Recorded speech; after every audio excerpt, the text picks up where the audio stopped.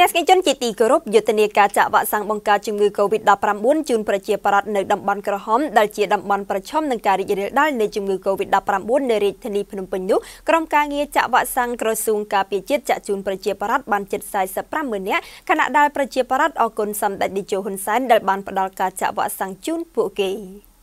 រយៈពេល10ថ្ងៃនៃយុទ្ធនាការចាក់វ៉ាក់សាំងជូនប្រជាពលរដ្ឋនៅតំបន់ក្រហមដែលជាតំបន់ប្រឈមនឹងការរីករាលដាលជំងឺ Covid-19 ក្នុងរាជធានីភ្នំពេញក្រោមប័ណ្ណបញ្ជាផ្ទាល់របស់សម្ដេចតេជោហ៊ុនសែននាយករដ្ឋមន្ត្រីកម្ពុជានោះក្រុមការងារចាក់វ៉ាក់សាំងរបស់ក្រសួងការពារជាតិបានចាក់ជូនប្រជាពលរដ្ឋបានជិត45ម៉ឺននាក់ហើយយោងតាមរបាយការណ៍ដែល Fresh News ទទួលបាននៅព្រឹកថ្ងៃអង្គារទី11ខែឧសភាឆ្នាំ2021នេះបានបង្ហាញថានៅថ្ងៃទី10ខែឧសភាឆ្នាំ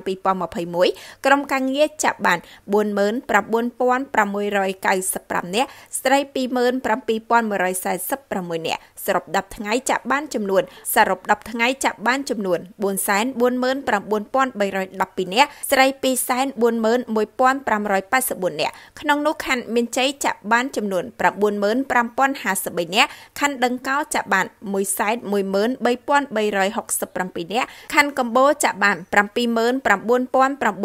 79966នាក់ខណ្ឌពោធិ៍សែនជ័យចាក់បាន1,41378នាក់ខណ្ឌឫស្សីកែវចាក់បាន1 14761នាក់និងខណ្ឌទូកកចាក់បាន4787នាក់នាយឧត្តមសេនីយ៍អិសរ៉ាត់អគ្គមេបញ្ជាការរងនៃសេនាធិការចម្រុះនៃកងយុទ្ធពលខេមរៈភូមិន្ទនិងជាប្រធានក្រុមការងារចាក់វ៉ាក់សាំងនៅតំបន់ក្រហម ដែលបានចុះពិនិត្យជាប់ប្រចាំនៅដំណើរការចាក់វ៉ាក់សាំងបានកត់សម្គាល់ឃើញថាដំណើរការចាក់វ៉ាក់សាំងនៅតំបន់ក្រហមបើទោះបីជាមានការលំបាកនិងស្មុគស្មាញបន្តិចព្រោះស្ថានភាពនៃការរីករាលដាលជំងឺ Covid-19 នោះតែដំណើរការរក្សាបានភាពល្អប្រសើរហើយដំណើរការចាក់ក៏បានលឿនទៅតាមផែនការនាយឧត្តមសេនីយ៍អិតសរ៉ាត់ក៏បានកត់សម្គាល់ឃើញពីការប្រឹងប្រែងរបស់ក្រុមការងារចាក់វ៉ាក់សាំងទាំងអស់ដែលបានយកចិត្តទុកដាក់និងបំពេញការងារយ៉ាងសស្រាក់សស្រាំដើម្បីចាក់វ៉ាក់សាំងជូនដល់ប្រជាពលរដ្ឋឲ្យបានតាមផែនការទោះបីជាតំបន់ចាក់វ៉ាក់សាំងនោះជាតំបន់រីករាលដាលជំងឺ Covid-19 ក្តី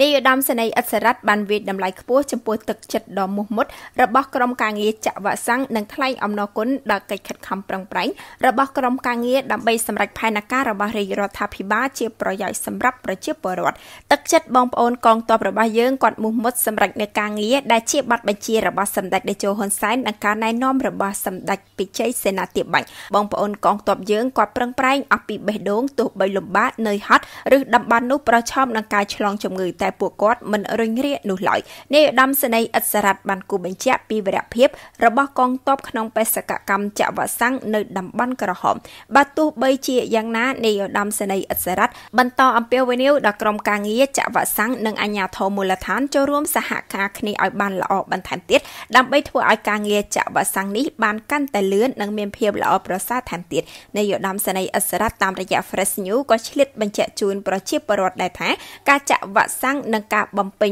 បានព័ត៌មានចាក់វ៉ាក់សាំងគឺមិនមានគិតប្រាក់នោះឡើយការទទួលបានវ៉ាក់សាំងប្រឆាំងនឹងជំងឺ Covid-19 គឺជាបំណងប្រាថ្នាដ៏ខ្លាំងក្លារបស់ប្រជាពលរដ្ឋដើម្បីប្រយុទ្ធប្រឆាំងនឹងជំងឺ Covid-19 ដែលកំពុងរាតត្បាតនៅកម្ពុជា ការជំនះផលលំបាកទាំងឡាយរបស់រាជរដ្ឋាភិបាលដើម្បីចាក់វ៉ាក់សាំងនៅតំបន់ក្រហមបានធ្វើឲ្យប្រជាពលរដ្ឋក្នុងតំបន់ក្រហមនេះរីករាយជាខ្លាំងប្រជាពលរដ្ឋដែលបានទទួលវ៉ាក់សាំងបានថ្លែងអំណរគុណយ៉ាងជ្រាលជ្រៅចំពោះរាជរដ្ឋាភិបាលក្រុមការងារនិងក្រុមគ្រូពេទ្យកងទ័ពទាំងអស់ដែលបានយកចិត្តទុកដាក់ចំពោះការផ្ដល់វ៉ាក់សាំងជូនពួកគាត់សូមបញ្ជាក់ផងដែរថានៅថ្ងៃទី1ខែឧសភារាជរដ្ឋាភិបាលកម្ពុជាបានចាប់ផ្ដើមយុទ្ធនាការចាក់វ៉ាក់សាំងជូនប្រជាពលរដ្ឋនៅតំបន់ក្រហមក្នុងខណ្ឌមានជ័យខណ្ឌដង្កោខណ្ឌកំបូលខណ្ឌពោធិ៍សែនជ័យខណ្ឌរិស័យកែវនិងខណ្ឌទូកកការចាក់នេះគឺចាក់ជូនប្រជាពលរដ្ឋទូទៅដែលមានអាយុចាប់ពី18ឆ្នាំឡើងទៅបើតាមនាយឧត្តមសេនីយ៍អិសរ៉ាត់បានឲ្យដឹងផងដែរថាប្រជាពលរដ្ឋដែលត្រូវចាក់នៅក្នុងតំបន់ក្រហមទាំង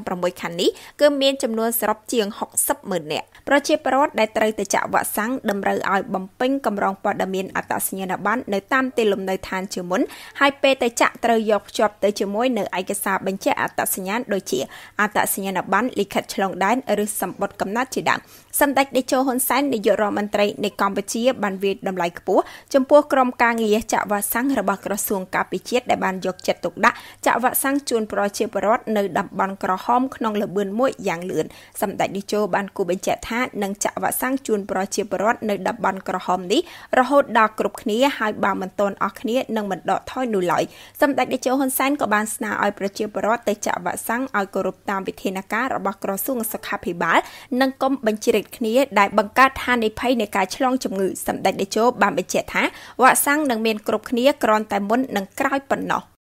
កម្មវិធីនេះឧបត្ថម្ភដោយ Food Panda Food Panda ដឹកជញ្ជូនលើសពីអាហារ